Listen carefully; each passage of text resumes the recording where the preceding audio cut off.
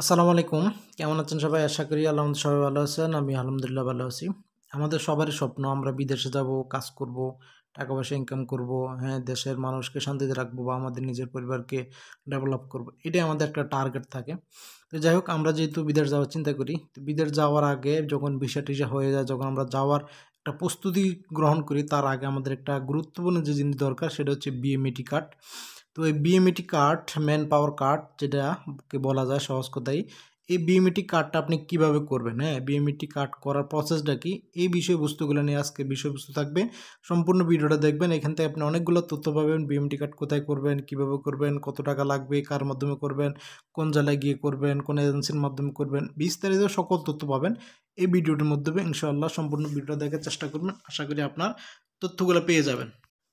এই বিএমইটি কার্ডটা নর্মালি সকল দেশের জন্য প্রযোজ্য করে দিছে আপনি ইউরোপে আসেন, আমরা আমরা যখন পোল্যান্ডে আসছি, তো আমি যখন পোল্যান্ডে আসব তখন আমি ভাবছি যে বিএমইটি কার্ড কেন করবে? পোল্যান্ডে এগুলো লাগবে না।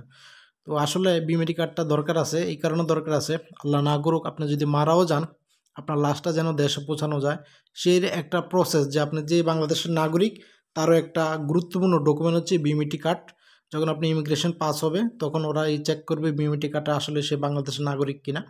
তো এই হচ্ছে বিমিটি কার্ডের মূল কাহিনী। বিমিটি কার্ডটা করাটা জরুরি। যারা বিদেশে আসবেন যে কোনো দেশে, ইউরোপ বলেন, মধ্যপ্রাচ্য বলেন, বাংলাদেশ ইন্ডিয়া বলেন যে কোনো দেশে ওয়ার্ক হিসেবে যখন আপনি কর্মজীবী হিসেবে যাবেন, তখন আপনার অবশ্যই বিমিটি কার্ডটা লাগবে। তো বিমিটি কার্ডটা সর্বপ্রথম আপনি যেখান থেকে করবেন, সেটা হচ্ছে আপনি কীভাবে করবেন, সে প্রসেসগুলোই আজকের বিষয়বস্তু সম্পূর্ণটা ভিডিওতে থাকেন ইনশাল্লাহ এখন কথা হচ্ছে বিএমএটি কার্ডটা আপনি কখন করবেন? বিএমএটি কার্ডটা করবেন হচ্ছে তখনই যখন আপনার সকল প্রসেস মানে আপনি যখন বিষয় সকল রেডি হয়ে যাবে মেডিকেল হয়ে যাবে, যখন আপনি যাওয়ার জন্য প্রস্তুত শুধু বাকি থাকবে শুধু বিএমইটি কার্ডটা আর টিকিট বিএমইটি কার্ডটা করার জন্য আপনাকে অ্যাট ফার্স্ট প্রথমেই আপনাকে বিএমইটি অফিস যেটা নর্মালি আগে ঢাকাতে ছিল বিভাগীয় শহরেগুলো ছিল, এখন প্রত্যেকটা জেলা জেলা করে দিছে। এটার নাম হলো টিটি সেন্টার মানে টেকনিক্যাল ট্রেডিং সেন্টার। এটা হচ্ছে বৈদেশিক কর্মসংস্থান মন্ত্রণালয়ের অধীনে প্রত্যেকটা জেলাতে আপনার এই টিটি সেন্টারটা আছে। প্রত্যেকটা জেলায় যেহেতু এই টিটি সেন্টারটা আছে, আপনি এখন এই টিটি সেন্টারের সন্ধান কীভাবে পাবেন? যেমন সাপোজ আপনি রংপুর জেলা অথবা আপনি কুমিল্লা জেলা অথবা আপনি চাঁদপুর জেলা অথবা ব্রাউনবাড়ি জেলা, আপনি যে জেলাতে আছেন, এখন আপনি জেলা এটা খুঁজে কীভাবে পাবেন? এটা কোন জায়গায় আছে? সেটা আপনি নর্মালি গুগলে গিয়ে সার্চ দিবেন। টিটি সেন্টার অথবা ম্যান পাওয়ার কার্ড লিখে আপনি নর্মালি যদি সার্চ দেন, তাহলে আপনি গুগল ম্যাপে গুগল লোকেশন আপনাকে দেখবে, সেটা লোকেশনটা কোথায় নর্মালি আপনি ওখানে চলে যাবেন। ওখানে যেতে, যাওয়ার পরে আপনি ওখানে দুশো টাকা দিয়ে একটা রেজিস্ট্রেশন করবেন। এখন আপনার কথা হলো, ওখানে যাইয়া আপনি যে রেজিস্ট্রেশন করবেন, সেখানে আপনার কি কি ডকুমেন্ট নিয়ে যেতে হবে এবং কি কি ডকুমেন্ট নিয়ে যাওয়াটা আপনার জন্য জরুরি, এগুলো একটু মনোযোগ দিয়ে শুনবেন। এখন আসেন আপনি কি কি ডকুমেন্ট এখানে নিয়ে যাবেন। ডকুমেন্টগুলোর মধ্যে প্রধান ডকুমেন্ট যেটা, সেটা হচ্ছে আপনার পাসপোর্ট পাসপোর্ট আর ফটোকপি নিয়ে যাবেন দুই কপি আপনার পাসপোর্টের যে পেজের মধ্যে আপনার ভিসা লাগছে, ওই পেজটার দুইটার ফটোকপি নেবেন স্ট্যাম্প সাইজ দুই কপি ছবি নেবেন এবং পাসপোর্ট সাইজে দুই কপি ছবি নেবেন। এটা আমি দুই কপি করি কেন বললাম? আপনার এক কপি করে লাগতে পারে, আবার নাও লাগতে পারে। যাই হোক, দুই কপি করে যে আপনি নিয়ে যান, ওখানে গিয়ে আপনাকে পাসপোর্ট কোথায় খুঁজবেন ফটোকপি কোথায় করবেন, এগুলো আর হরানি হতে পারে না। আপনি যখন যাবেন, তার আগে এগুলো ফটোকপি করে রেডি করে নিজের কাছে রাখবেন। যেদিন যাবেন, ওই দিন সকালবেলা এগুলো প্যাকেট করে আপনার সুন্দর মতো নিয়ে যাবেন। পাসপোর্টের মূল কপি সহ সাথে নিয়ে যাবেন। এই কাগজপত্রগুলো নিয়ে যাওয়ার পরে আপনার যখন রেজিস্ট্রেশন করলেন রেজিস্ট্রেশন করার পর আপনাকে তারা একটা রিসিট দিবে। তখন ওরা আপনাদেরকে বলবে যে আপনার এই তিন দিন অথবা ওই তিন দিন মানে সপ্তাহের যে কোনো তিন দিন আপনাকে ট্রেনিং করার জন্য বলবে। তো আপনার চেষ্টা করবেন পুরো তিন দিনের যেন ট্রেনিংটা করেন। ট্রেনিংটা আসলে নর্মালি একটা ম্যানুয়াল একটা ট্রেনিং আহামরি কিছু শেখানো হয় না, তবে ট্রেনিংটা করলে ভালো। আপনার কিছু অভিজ্ঞতা হবে, বিশেষ করে যারা নতুন।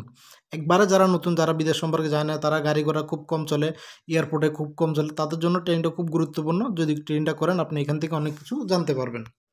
এখন আপনি বলতে পারেন, এই ট্রেডিংটা না করলে কি অসুবিধা বা ট্রেডিংটা করলে বা কি সুবিধা পাবো? ট্রেনটা আসলে না করলে কোনো অসুবিধা নাই। তবে ট্রেনটা না করলে বড় অসুবিধা যেটা, সেটা হচ্ছে আপনি বিমিটি কার্ডটা পাবেন না। আর বিমিটি কার্ডটা যদি আপনি দালাল বা অন্য মাধ্যমে করতে চান, তাহলে আপনি ফ্যাক বিপদে পড়বেন।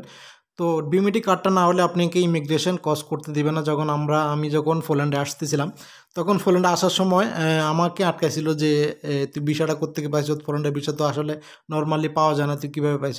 তখন আমি বললাম যে, আমরা ইন্ডিয়া ইন্ডিয়াতে কিছু ফাইল জমা দিচ্ছি বিষয় হয়েছে আমরা আসছি। তখন ও বলল যে ম্যান পাওয়ার কার্ড করছি আমি বললাম হ্যাঁ ম্যান পাওয়ার কার্ড আছে। তখন ম্যান পাওয়ার কার্ড চেক দেখে ওরা আমার বিষয়টা চেক করে আমাকে ছেড়ে দিল। তো এইভাবেই বলে যায় যে আপনার ম্যান পাওয়ার কার্ডটা খুব জরুরি। ম্যান পাওয়ার কার্ডটা যখন থাকবে তখন আপনাকে আর ঝামেলা করবে না। আর ম্যান পাওয়ারটাকে আপনি আপনার আইডেন্টিফাই করে যে আপনি আসলে বাংলাদেশের নাগরিক এবং কি আপনি ইমিগ্রেশন কস্ট করতেছেন, সেটা আপনার জন্য একটা গুরুত্বপূর্ণ। তো ম্যান পাওয়ার কার্ডটা আসলে করে নেবেন, যাতে করে আপনি বিপদে না পড়েন।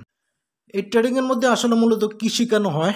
জরুরি কিছু শেখানো হয় না। তারপরেও মোটামুটি ভালোই কিছু শেখানো হয়। এর মধ্যে বলতে পারেন যে আপনি ইমিগ্রেশন কীভাবে পাস করবেন, কীভাবে ব্যাগ গোছায় রাখবেন, কীভাবে আপনার পাসপোর্ট সেভ রাখবেন হ্যাঁ কীভাবে ইমিগ্রেশনে কথা বলবেন বা আপনি কীভাবে ইমিগ্রেশনে কী কী লিখতে হবে হ্যাঁ কী কী ডকুমেন্ট আপনাকে দিবে।